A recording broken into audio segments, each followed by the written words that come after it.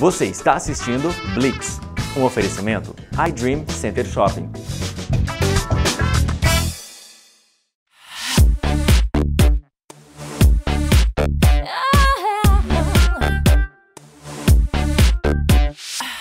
Твои звонки ночные и смешные смсы То мне мешают жить, то как рукой снимает стрессы И Tá babando aqui, ó. Comecei babando, saca só? Tô molhadinho, tô molhadinho hoje, por quê? Porque eu tenho Cristiano John. Mostra meu convidado, Opa. por favor.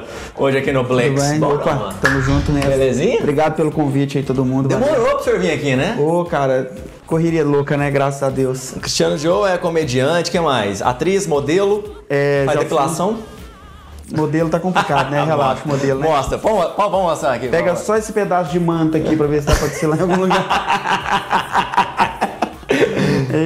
Mais, cara, que você faz na vida? Então, na verdade, Prado, eu tô aí nesse, nessa, nessa correria do stand-up, né? Tem, tem os grupos aqui que eu participo também, que é o Salada Insana com a galera aí. E tamo aí no, no, no stand-up aí tentando bombar. E tô com o Café Comédia na Cultura HD. Exatamente. Vocês podem falar? Pode, Pode falar? falar, meu super Pode? amigo de rádio, você Opa, acha que é? Tamo junto, você tem um programa lá Eu no lá sábado, também. né?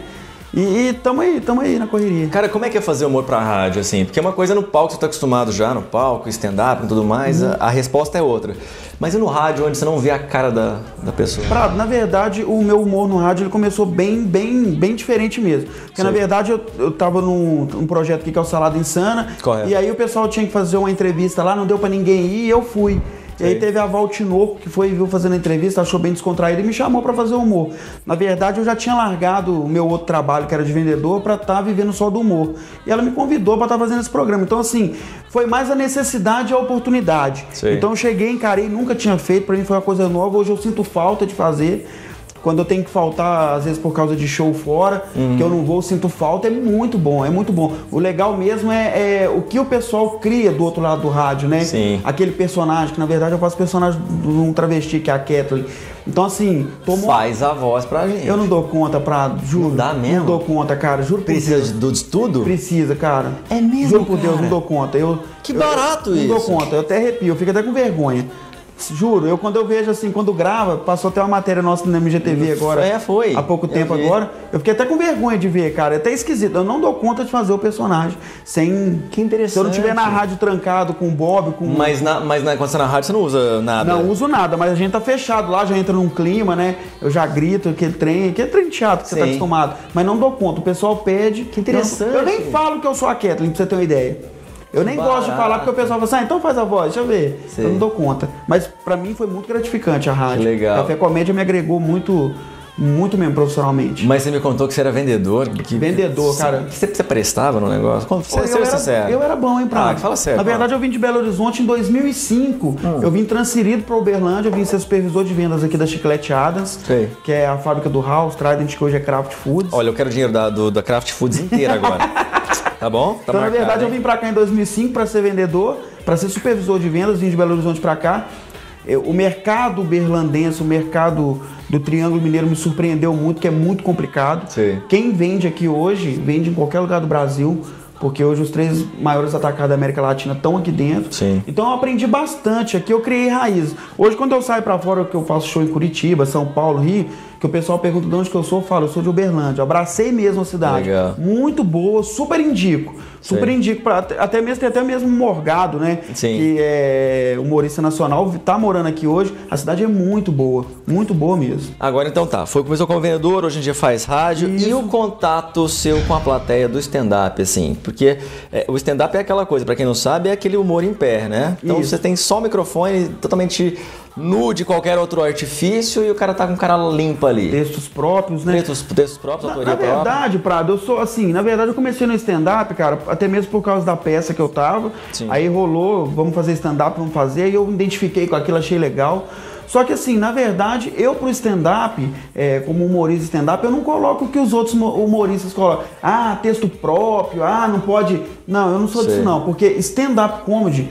Muitas vezes a pessoa não sabe o que, que significa. É comédia em pé. Uhum. Então, se eu tô caracterizado, se eu, se eu tô sem caracteres, se eu, se eu tô fazendo a comédia em pé, eu tô Legal. fazendo stand-up. Entendi. Então, pra mim, se chega ali o, o, o, o Tiririca, que se chega as goianinhas do Acre ali e tá fazendo, pra mim é stand-up, é comédia Entendi. em pé. Só que é claro que a gente tenta seguir o formato que a galera, entre aspas, colocou. É esse que tem que ser. Sim. Porque senão eles te tiram mesmo. Porque o ciclo de comédia é, É muito, fechado, né? É muito fechado. É É, fechado. muito fechado. Então hoje, se você copia uma piada que não é certo, se você faz alguma coisa muito próxima e um humorista fica sabendo, é, é, dá um- um- um- um- uma explosão muito forte. É, é antiético mesmo, né? É, é antiético. Humoristas que nunca te viram, é, que nunca te viram, ficam sabendo, não te olham pelo trabalho, mas olham pela crítica. Então, assim, às vezes você acerta 10 vezes, ninguém te, te vê, você erra meia, a galera tá aí, ó. Mas o público do bar não tá cheio de paciência, não. Você tá lá falando um texto, os caras estão bebendo, estão conversando, estão beijando a amante. Na verdade é o seguinte, o stand-up ele tomou uma, uma proporção tão grande que a pessoa já sabe que quando começa um, um programa, um, um show de stand-up, na hora que começa a galera já fica ali vidrada, porque sabe que são textos. Sim. Sempre tem um ou outro que brinca, mas às vezes até ajuda. Que você pega aquele, aquele bordão ali traz pro palco, entendeu? Sei. Então é legal. Mas a galera aqui em Uberlândia, eu tenho um show aqui é, mensal aqui na Búfalo Choperia, vou até fazer o jabá. Por favor. Na Búfalo Choperia, na rua São Francisco de Assis, tô lá, dia de terça-feira. Então, assim, a galera, pô, semana passada, que foi véspera de feriado, nós fizemos um show lá, deu mais de 200 pessoas. Presença do Rogério Oh, Morgado, teve lá também participando comigo. O Rogério foi agora pra virada cultural e teve um público de 20 mil pessoas na Praça da Isso, República em São isso. Paulo. Morgadão, parabéns, maluco. Você- Você e Luan Santana não estão perdendo em nada, tá? Eu, Eu ainda acho que o Morgado é melhor do que o Luan Santana ainda. eu acho também. Eu acho Ele ainda, é porque o maior. Morgado né? é autêntico, né, cara? Ele não... Mas é isso. Me fala uma coisa, você já falou algum- alguma piada, já criou alguma coisa que você achou que ia pegar de um jeito e no bar fez um. Hum. Já, cara. Eu, eu criei até recentemente uma piada agora, né? Ah. Que foi do. Que foi do, da, da música do, do Sorriso Maroto, né? Ah. Eu fiz uma brincadeira, é, é, o pessoal levou pro outro lado. É, eu coloquei que, pô, a Suzane Ranstoffen, né? Matou o pai e a mãe depois de quase 6, 7 anos presa. Sim. Aí veio um grupo de pagode e faz uma homenagem pra ela, né? Ai, ai, ai, ai, ai, ai. Assim você mata o papo. Então assim, então, assim, o pessoal leva pro lado do humor negro, mas você sempre testa antes, né? Mas aí na hora que você vê que ah, tem, tem um pessoal que faz assim. Meu Deus, Doeu, aí você já né? segura, sai. Então você tem que ter aquele humor. É a mesma coisa de teatro. Sim, mas, Mesma mas- mas teatro. tem, que tomar, tem que tomar um certo cuidado. muito né, cara? cuidado, muito cuidado. Agora, só para pra fechar, eu sei que esse assunto é é grande, mas só sua- é bom ter sua opinião como comediante. Essa, eu tenho sentido uma, um certo, uma certa censura indireta, sabe, aos humoristas, assim, mesmo coisas que acontecem com Rafinha, mais Gentili, mas sabe, pessoal, você sente que você tem liberdade pra fazer piada que você quer ou não? Cara, na verdade a gente não tem liberdade pra fazer quase nada no Brasil, né? A galera mata, rouba, trafica, isso aí ninguém tá nem aí. Aí na hora que você vem trazer humor, vem trazer alegria pras pessoas, aí eles estão ali. Tipo assim, é, eu, eu particularmente, é, não vou te falar que o humor do Rafinha Bastos seja o que eu mais goste. Aham. Mas respeito pra caramba e acho o cara um p... de um profissional. Sim. Porque é um cara que ele, ele defende as opiniões dele. Verdade. Aí eu fico pensando, será que é ele que está errado? Ou será que somos nós que estamos errados em não fazer e não defender o que nós gostamos? Tá certo. Entendeu? Então, assim, eu sou fã do cara, e, mas eu acho que tem essa restrição sim. Eu acho que tem essa restrição sim. Infelizmente, você tem que acompanhar, que senão você tá fora do mercado. Verdade. A partir do momento que você se torna uma pessoa arrogante, você tá fora. Como é que a gente acha Cristiano Joe? Tem internet? Tem Então, fumaça? Tem meu site agora, www.cristianojoe.com.br. Joe, como é que escreve? JHOW. É, Tem o telefone agora da minha. é, pode ligar no 9105, agora tem uma assessoria de imprensa. É, Fino, legal, fino. Rapaz, depois junto. foi pra Multishow. Tamo ele- junto, Fabiana Barcelos tá com, tá Fabi? com, tá comigo aí Beijo, agora. Fabi. Assessoria de imprensa. E Twitter, arroba Cristiano Joe. Qual que é o outro mesmo? Facebook, Tem né? Facebook. É Facebook Cristiano Joe. E falar pra galera, você falou do Multishow, a partir do dia 2 de junho, tá estreando um reality show no canal Multishow. 23 humoristas disputando um programa lá dentro do canal. E vai ser muito legal. Bom demais, cara. Toda sorte do mundo pra você. Muito obrigado. Valeu demais. Deus. viu? Valeu. Olha, fica aí, Tamo porque o junto. Blitz tem muito mais. Então, relaxa aí.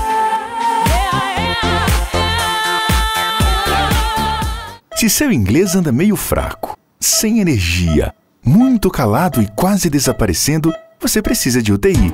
Intensivão da Excelente Global, onde você encontra agilidade e imersão.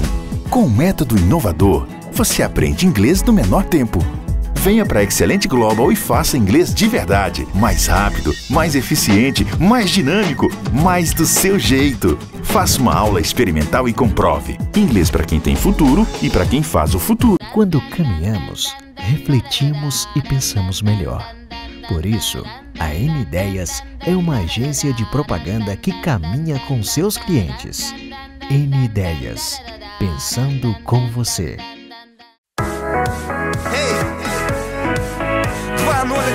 É isso aí, rapaz. É, o Blix continua aqui, hoje falando aí dos talentos da cidade, que não são poucos, inclusive. Eu recebo meu grande amigo Lucas Naves. Mostra meu convidado. Tudo bom? Beleza, tranquilo. Primeira vez te entrevistando. Pois é, prazer estar aqui. Bom demais. Lucas da banda Vitais. Isso. Como é que surgiu o lance de música contigo, Lucas? Cara, a música pra mim é desde de criança mesmo. Sempre gostei. E mas o lance de banda mesmo começou em 2005, quando a gente fundou a banda Vitais, na verdade. A banda vem de 2005. Desde, desde de 2005, foi logo que eu cheguei de mudança de São Paulo. Eu já tocava violão, já fazia aula, tudo, mas aí a gente pensou em fazer alguma coisa mais profissional.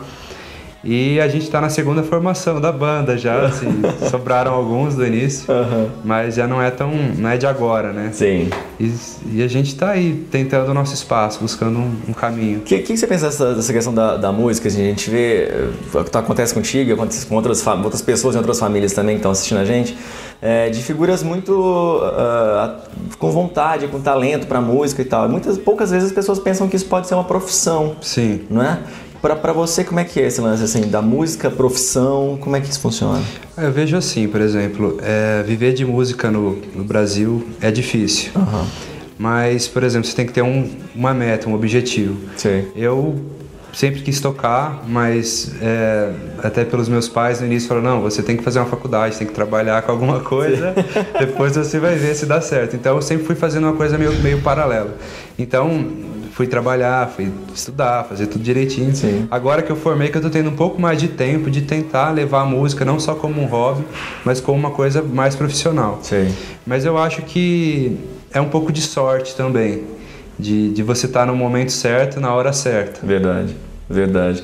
E aí, nas suas músicas, como é que vieram isso, assim? Vieram essas composições que você faz? São, tem várias coisas próprias, não tem? É, na verdade eu, eu já compunha, desde adolescente eu já compunha, assim, tem mais de, de 30 músicas, mas assim, aí para gravar um CD a gente tem que ir fazendo, passando uma peneira aí para Sim. para chegar em algum consenso, né? E agora a gente gravou um CD mais profissional, né? Com 11 faixas, e dentre elas, assim, as músicas acabou, acabou que a gente escolheu as que tem uma, uma voltagem mais pop, né? Sim. Mas a composição é uma coisa que eu faço, assim, geralmente não só de coisas que eu, que eu, que eu vivo, coisa que eu faço, assim, geralmente não só de coisas que eu, que eu, que eu vivo, que eu passo, também assuntos que de amigos, de